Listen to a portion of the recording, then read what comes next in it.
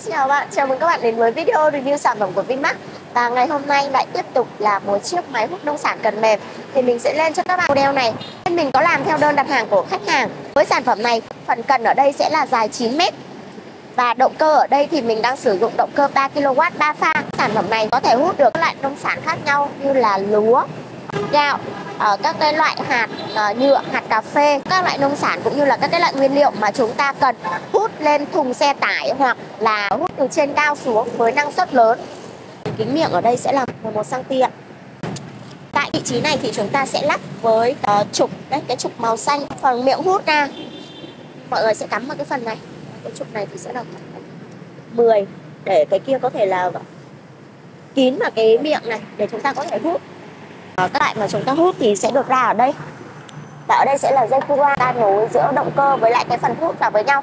Cái động cơ 3 kW la pha sang sức tầm 10 đến 12 tấn một giờ, tùy vào các loại nông sản khác nhau.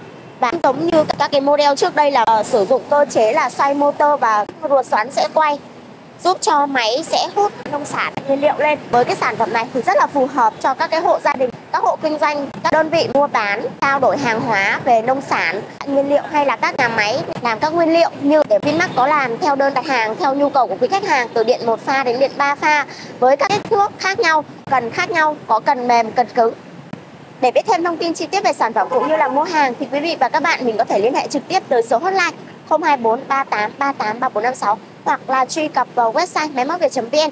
Ngoài ra thì có số điện thoại di động đang hiển thị trên màn hình. Mọi người có thể liên hệ để được uh, tư vấn cũng như là mua hàng chóng nhất.